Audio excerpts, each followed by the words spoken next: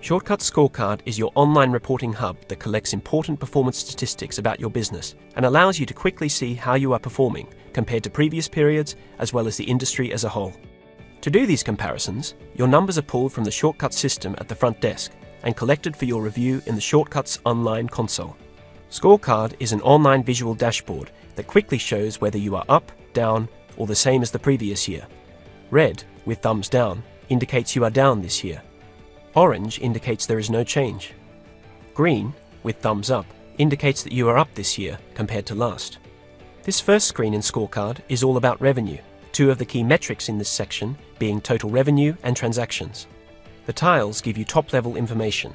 For example, transactions gives you both a number of total transactions as well as the amount per transaction. When you click on the tile, it will then give you more detailed graphs below for that section. For example, under transactions, you can see things like average retail amount per transaction and the percentage of transactions that were discounted. These graphs not only tell you if you are discounting more or less than the previous year, but also how your discounting compares to other businesses like yours. Do you know if you are discounting more than the average salon or spa? Another favourite section in Scorecard is the client retention, where you can see retention figures for new clients as well as existing client retention. These graphs show you how well you are doing against your own performance last year, as well as how you compare to the industry. Are you keeping your new clients more or less than the average business?